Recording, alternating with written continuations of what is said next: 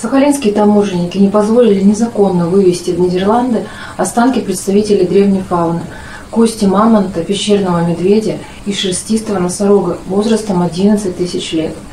Таможенники установили, что предприниматель, занимающийся добычей и продажей предметов палеонтологии на территории Якутии, намеревается нелегально отправить европейскому покупателю две посылки с контрабандным товаром. Груз должен был проследовать через Москву.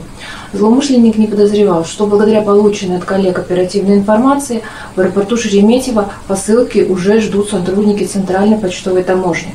Они провели досмотр коробок и обнаружили 12 окаменелостей, 7 фрагментов зубов и 2 челюсти мамонта, бедренную плечевую кость шестистого носорога, бедренную кость пещерного медведя.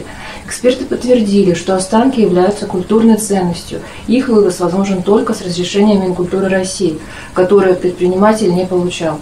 Общая стоимость предметов оценена в 162 тысячи рублей. Гражданин задержан. Возбуждено уголовное дело по части 1 статьи 226 прим. 1 УК РФ «Контрабанда культурных ценностей». Мужчине грозит наказание в виде лишения свободы до 7 лет со штрафом до 1 миллиона рублей.